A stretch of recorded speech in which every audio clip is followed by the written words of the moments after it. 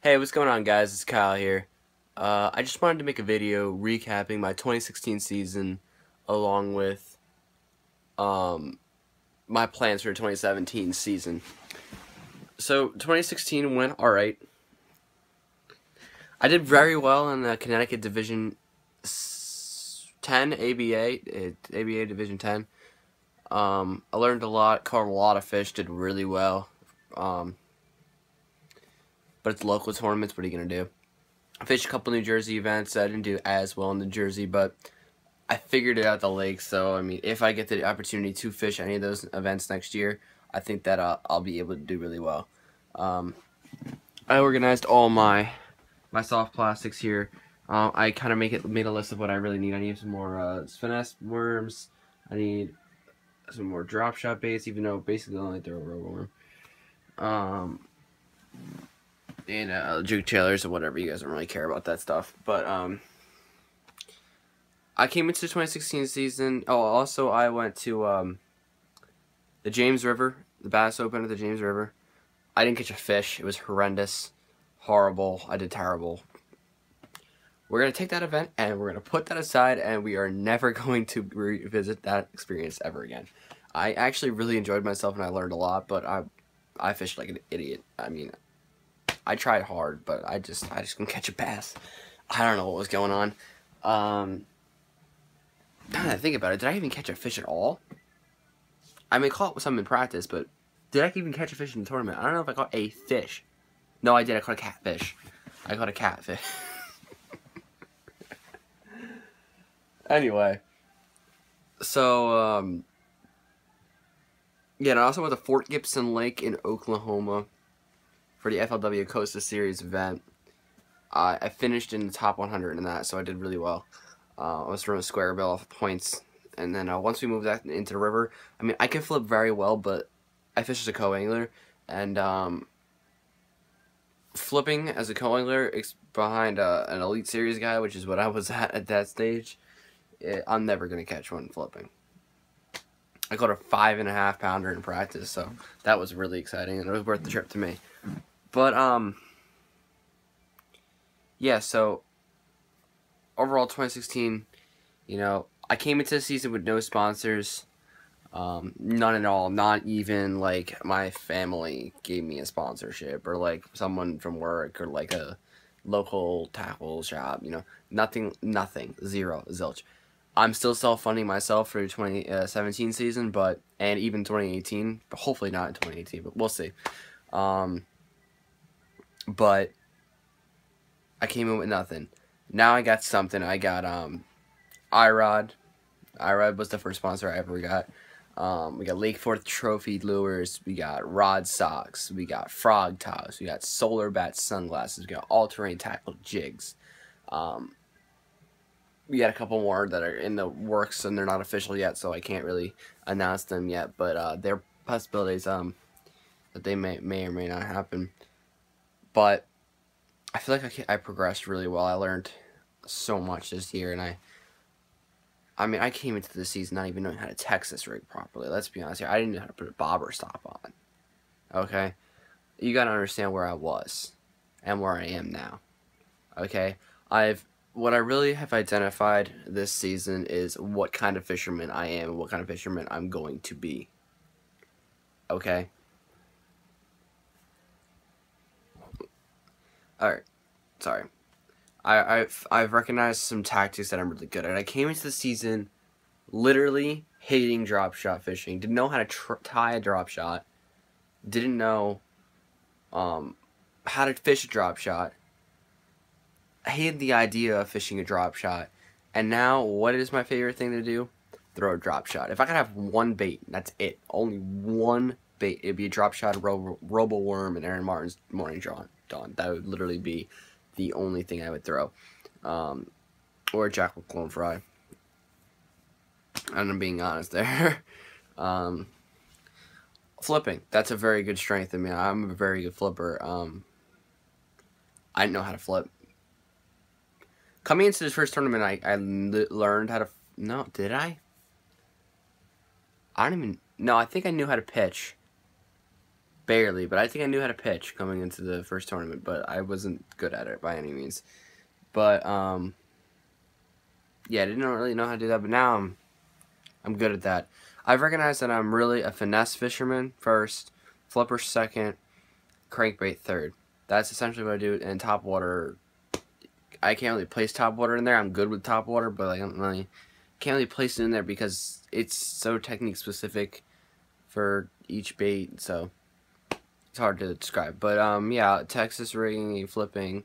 Uh, I didn't fish a jig for. I caught one bass on a jig this year. Actually, no, I caught more than one bass, but I caught one good bass on a jig. One besides swim jig, which I threw a lot. Um, I only caught one good bass on a jig, and that was in uh, the Connecticut River on a missile no all-terrain tackle finesse jig with a uh, Lake Fork Hyper Freak as a trailer. That's what I was using. Um, that's a dynamite combination. Just letting everyone know out there, if you're starting off throwing a jig, all-terrain tackle makes a beautiful uh, all-around casting, flipping jig, skipping jig, the all-terrain tackle jig with a Lake Fork Hyper Freak as a trailer. I used the 3.5 size, but you can go with the 5 inch size. But I like to flip the 5 inch, I like to put the 3.5 on the back of the. Regardless, that's not the my point. What I really wanted to talk about was my plan for the 2017 season. Now, I'm going to go into my laptop here. Okay, we're on the laptop. Try not to show my password. Doesn't really matter, but um okay. So um as you can see I'm already on the internet, but we're going to go into my calendar. In February 2018. That was just me. I budgeted out my year up to what? What the hell? I don't know what that that's all about. But basically, we're going to start in uh, January of 2017. Alright, so um, I'm going to be traveling to an FLW Costa Series event on the 23rd through the 28th at Lake Okeechobee. Um,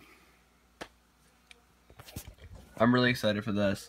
Um, I don't really want to go into too much of the specifics of what I'm going to be throwing, but um, Okeechobee is a pretty obvious one, so I'm going to just go out on a limb there. I'm going to be throwing a Grassmaster um, all-terrain tackle jig with a Lake Fork Hyper Freak 5-inch on the back. That's basically what I'm going to be throwing on there. Alright, then we're going into... Um, I'm not going to say what I'm going to be throwing in this because I, I think I have a good chance to catch some giants here. Uh, and Sam Rayburn Lake in Texas, I'm going to be traveling there. Uh, the 20th through the 26th. Uh, will what 20 yeah 25th I'll be in uh, Texas. Very exciting FLW Costa Series event. Then at the end of uh, March we got a Lake Dardanelle, I believe.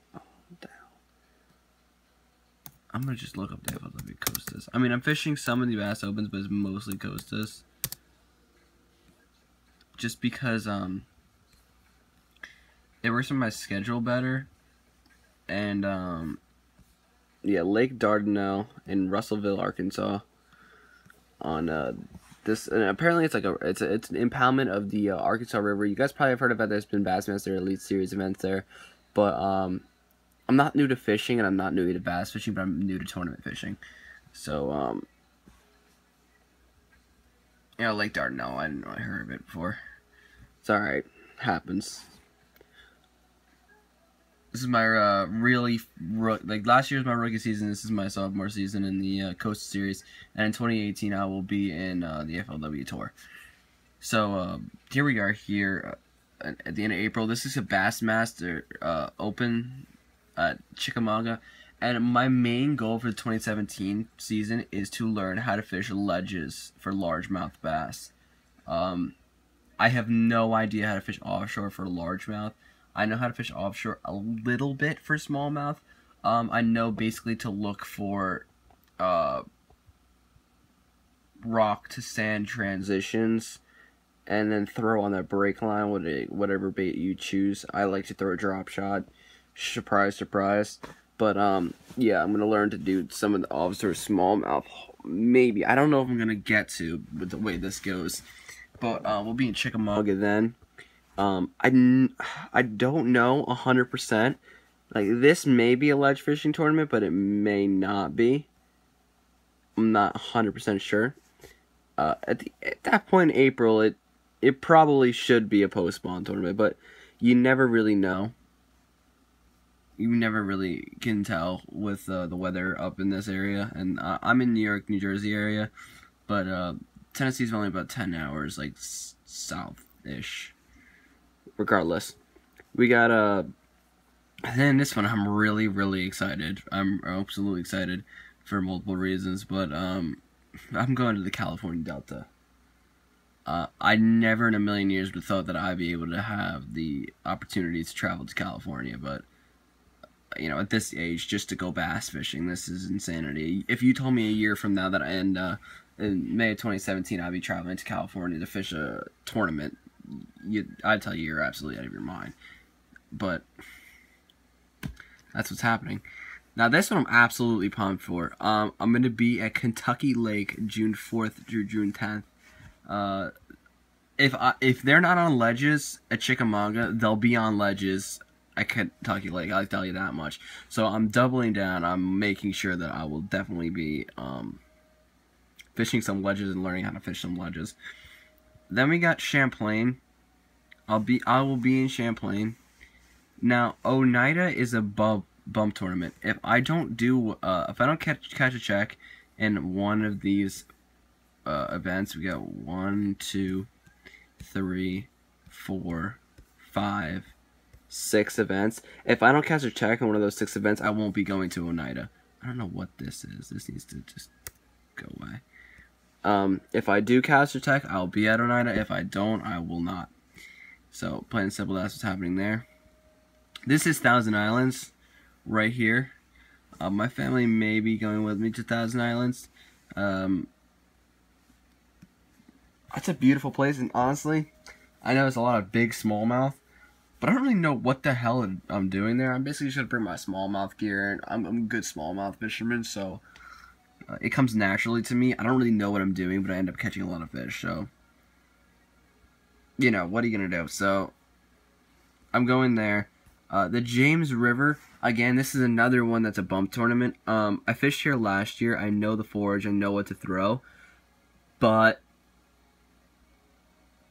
you can only do so much. So, I mean, I may not have the money at this exact moment to do this if I don't cash some checks. So, we'll see. Then, uh, the reason being why I won't have the money is because I, I'm 100% going to this tournament that I, I want to go to this tournament more than anything. The Potomac River tournament. Uh, and August 24th. This is out of uh, Marbury, Maryland. I can see myself potentially winning this tournament. That's uh, fits my strengths very, very well.